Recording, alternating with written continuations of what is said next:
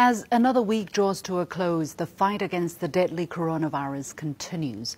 But China is not only battling the virus, but a wave of deeply repugnant and often racist laden attacks. First came the cartoon published in a Danish newspaper, the Jutland Post, which replaced the five stars on the Chinese national flag with a pictogram of the virus. The cartoon was backed by Danish politicians who once again retorted with cries of freedom of speech. But freedom of speech should not harbor freedom of discrimination based on race, nationality, or any other denominator. Bats don't carry passports.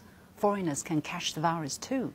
To imply there is a connection between the virus and the Chinese nationality or race is wrong and insensitive at a time when people are dying and enormous sacrifice is being made. In France, a publication ran with the headline Yellow Alert alongside a picture of a woman wearing a mask.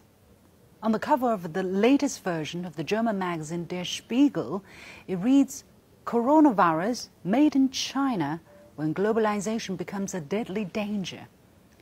I've been told in these societies people are in general well educated and respectful towards others, but such headlines really call that into doubt.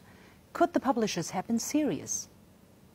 Now, here comes the champion of all titles, that of a piece published in the Wall Street Journal on Monday, which reads China is the real sick man of Asia.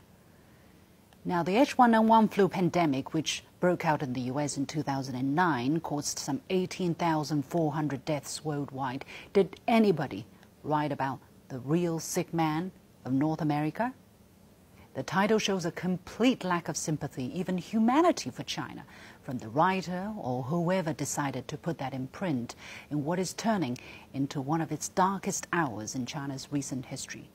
Yes, kick China while it's down. The article is on the opinion page, but does that exonerate rubbish like this? We're talking about the Wall Street Journal, not a gutter tabloid. Why are they giving column inches to such content? Freedom of expression? How about an article saying, slavery is glorious? Will the Wall Street Journal carry that? In the article, the writer took a swipe at the Communist Party of China, claiming there are signs that Chinese authorities are still trying to conceal the true scale of the problem. Well, don't look for specifics because the article doesn't provide any. So here is how I understand the situation. In the beginning, the epidemic was not handled properly and promptly. Local officials have acknowledged that on TV. Efforts quickly caught up, but hospitals were overwhelmed and possibly still are. Without quick and accurate diagnostics, we simply don't know the true scale of things. Top level experts have said that on national TV, what they know so far and what they don't. The article also calls into question the credibility of the government, saying the performance to date has shaken confidence in the Chinese Communist Party at home and abroad.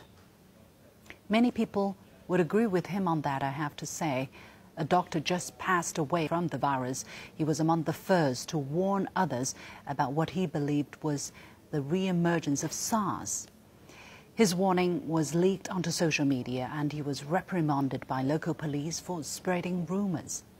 The Supreme People's Court had published an article suggesting his message should have been tolerated, even heeded, instead of cast as rumors.